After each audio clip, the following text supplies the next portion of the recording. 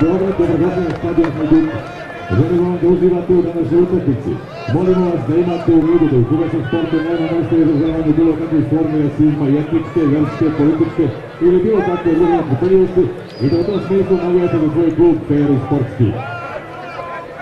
Ekipa će danas istupiti u sastavima. Off Beograd, jedan Lukač, dva Petković, pet Hadžić, šest Vasilijus, 31 Punut, jedan Mraž, 19 Cvetković, 18 Pekarić, 15 Radić, 3 Mladen Veselinović, 20 Krusmir, 8 Čulun, 10 Četirić, 7 Adamović, 9 Lazar Veselinović, 17 Kiš, kapiten ekipa Lazar Veselinović, broj 9. Utakmicu Srbi, Danilo Grujić iz Niša sa pomoćnicima Dalibrom Đurđevićem iz Kruševca i Gronkovićem iz Paraćina. Četvrte sudije Spasak iz Sokovice. Delegat Hrvatskog saveza